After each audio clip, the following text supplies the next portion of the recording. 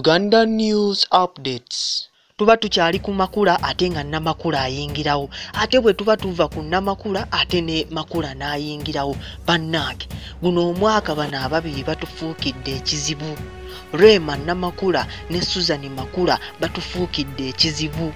Bawambye emikutu gya social media gyonna bawambye emikutu gyonna gyonna bawambye amativi gonna gonna bawambye amareediyo gonna gonna na buli kintu kyonna ekitwala information eri abantu ba bulijjo bakiwambye guno omwaka era be babadde beefuze media stations zonna be babadde bazeefuze. Twali tukyali ku susan makula ebya bujingo kubanga yasalawo yeetwalira omukyalo omujja susan makula ate ne rema gye yava n'agamba aa nze nobye nobye ŋŋenze ewa dokita sebunya edikenzo muviiridde. Ah rema namakula n'asalawo bw'atyo era yagenda n'okukyala kwawedde mwakulabye.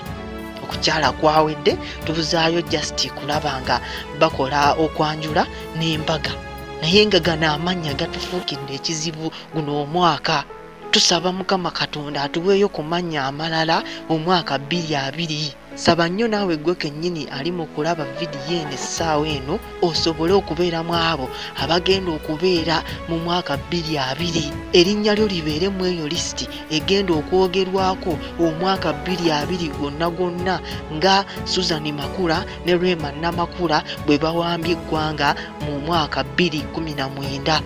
Bano abantu batufuukidde ekizibu twali tukyali ku pasita bujingo edi kenzo n'ayingirawo. Ate tuba tuva ku edi kenzo ate ne pasita bujingo wuuno ayingiddewo yakaweereza ekifaananyi olunaku olwaleero ndowooza mukiraba bulungi nnyo ekifaananyi ng'ali ku fulaati ye gye baazimba eri mu kyalo gye baazimba nga akutte mukyala we ku kibegaabega mu butuufu olabira ddala laavu eri wakati w'abano abantu susan makula ne pasita bujingo simanyi tedi bujingo awulira atya essaawa eno bw'alaba ku kifaananyi kino simanyi kyawulira naye nga tusabe nnyo tusabire abakyala bonna bonna e, be balekawo ennaku zino n'abasajja be balekawo ennaku zino tubateeke mu ssaala. Nga edi kenzo bamukubye ebbusu naye tumuteeke mu ssaala. Tedi bujingo bamukuba bbuso naye tumuteeke mu ssaala. Katusabe nnyo tufuneeyo okumanya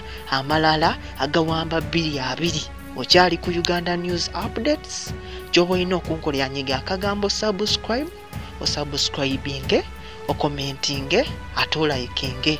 Mwebale nnyo mwebalire ddala